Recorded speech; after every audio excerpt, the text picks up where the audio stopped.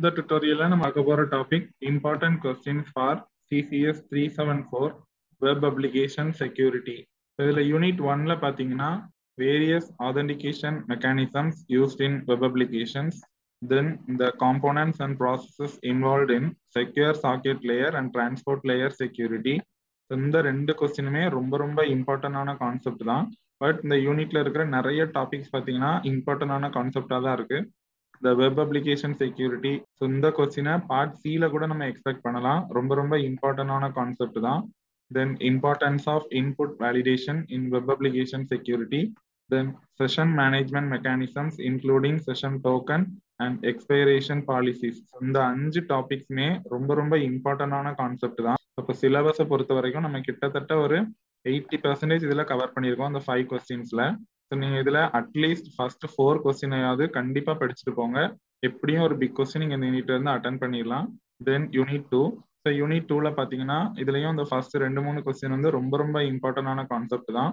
First question the Microsoft security development life cycle SDL then the OWASP comprehensive lightweight application security process CLASP அப்படின்னு ஷார்ட்டாகவும் கேட்பாங்க.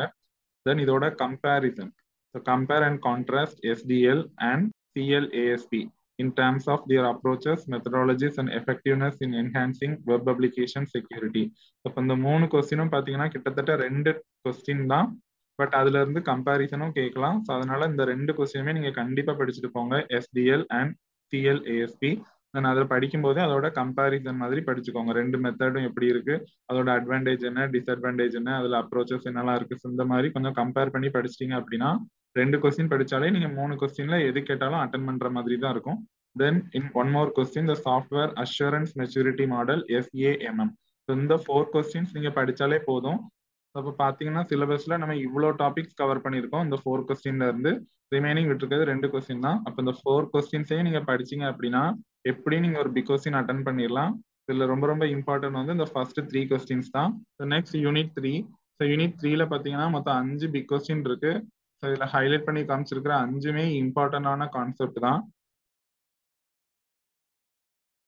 அஞ்சு கொஸ்டினுமே இதில் ரெட் கலரில் தான் போட்டிருக்கேன். பட் மினிமம் ஒரு ஃபோர் கொஸ்டின்ஸ் ஆகுது. இல்லை எனி ஃபோராவது படிச்சுட்டு போங்க. எப்படியும் இந்த யூனிட்ல இருந்து நீங்கள் ஒரு பிக் கொஸ்டின் வந்து அட்டன் பண்ணிடலாம். சிலபஸே கொஞ்சம் பெருசாக இருக்கிறதுனால தான் கொஸ்டின்ஸ் வந்து அங்கே நிறைய இருக்கு.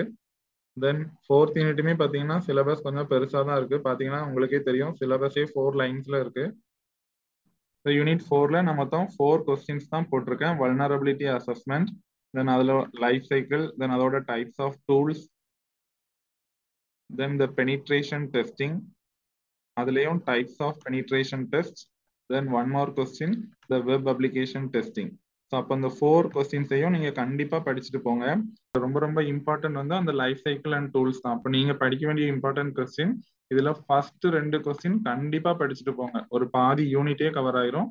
செகண்ட் ஹாஃப்ல தான் டெஸ்டிங் இருக்கு. அதுல நான் ரெண்டு டெஸ்டிங் இங்க மென்ஷன் பண்ணியிருக்கேன். ஸோ இந்த ஃபோர் கொஸ்டின்ஸ் நீங்க படிச்சீங்க அப்படின்னாலே எப்படியும் ஒரு பிக் கொஸ்டின் அட்டன் பண்ணிடலாம் இதுல இந்த செகண்ட் கொஸ்டின் வல்னரபிலிட்டி அசஸ்மெண்ட் டூல்ஸ்ல நிறைய இருக்கும். பட் நீங்க எல்லா டாபிக்குமே ஒரு ஷார்ட் நோட்ஸ்ல எழுதுற மாதிரி படிச்சுக்கோங்க.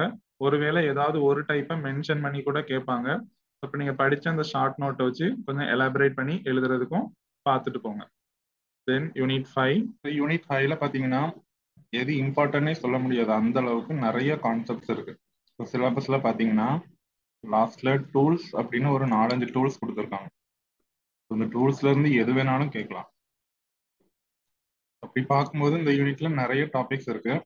நான் இப்போ என்ன பண்ணியிருக்கேன் அப்படின்னா ஒரு ஃபர்ஸ்ட் ஹாஃபை வரிசையா கம்ப்ளீட்டா எல்லா டாபிக்குமே படிக்கிற மாதிரி இம்பார்ட்டன்ட் கொஸ்டின்ஸ்ல போட்டிருக்கேன். பார்த்தீங்கன்னா இந்த சோசியல் இன்ஜினியரிங் இன்ஜெக்ஷன் ஸோ இது ரெண்டுமே பார்த்தீங்கன்னா ஒரு டைப் ஆஃப் அட்டாக் தான். ஸோ ஹேக்கிங் டெக்னிக் தான்.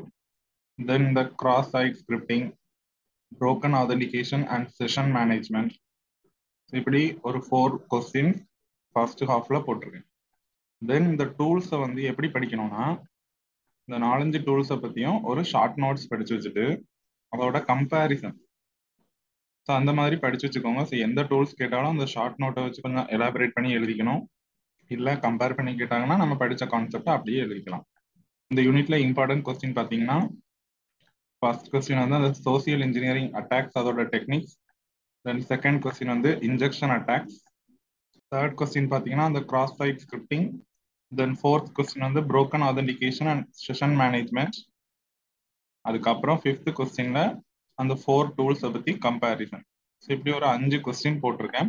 இந்த யூனிட்ல இருந்து நமக்கு பார்ட் சி கூட கேட்கலாம். அதனால அஞ்சு கொஸ்டினையுமே கண்டிப்பா யூனிட் ஃபைவ்ல படிச்சிருங்க. அப்பதான் ஒரு ஆஃப் யூனிட் நமக்கு கவர் ஆகும். ஸோ தட் நம்ம கொஞ்சம் கான்ஃபிடென்டா போகலாம். எந்த கொஸ்டின் வந்தாலும் இந்த யூனிட்ல அட்டன் பண்ணிடலாம் அப்படின்னு. இப்போ ஓவராலா அந்த சப்ஜெக்ட்ல பாத்தீங்கன்னா எல்லா யூனிட்லயுமே ஒரு ஃபைவ் ஃபைவ் கொஸ்டின்ஸ் கொடுத்துருக்கேன். இந்த கொஸ்டின்ஸ் கொஞ்சம் அதிகமாக தான் இருக்கும். நம்ம நெட்டில் சர்ச் பண்ணாலுமே இந்த சப்ஜெக்ட்டுக்கு பெருசாக இம்பார்ட்டன்ட் கொஸ்டின்ஸ்னு எதுவுமே கிடைக்கல. ஸோ புக்கை வந்து ரீட் பண்ணும்போது நிறைய இம்பார்ட்டன்ட் கான்செப்ட்ஸ் உள்ள இருக்கு. அதனால எல்லா யூனிட்லையுமே நான் ஃபைவ் ஃபைவ் டாபிக்ஸ் போட்டிருக்கேன். ஸோ முடிஞ்ச அளவுக்கு மேக்ஸிமம் நம்பர் ஆஃப் கொஸ்டின்ஸ் படிச்சிருங்க. அட்லீஸ்ட் ஒரு ஃபோர் கொஸ்டினாவது நீங்கள் படிச்சிங்கன்னா தான் ஏதாவது ஒரு மூணு யூனிட்டோ நாலு யூனிட்டோ அட்டன் பண்ணி ஒரு ஜஸ்ட் பாஸ் ரேஞ்சுக்கு போக முடியும். எல்லா யூனிட்லயுமே அஞ்சு பி கொஸ்டின்ஸையும் படிச்சிட்டீங்க அப்படின்னா நம்ம கொஞ்சம் கான்ஃபிடென்ட்டா போகலாம். ஆறு கொஸ்டினோ அஞ்சு கொஸ்டினோ அட்டன் பண்ணிக்கலாம் அப்படிங்கிற ஒரு கான்ஃபிடென்ட்டோட போகலாம். ஸோ தட் ஈஸியாக அந்த சப்ஜெக்டை நீங்க பாஸ் பண்ண முடியும்.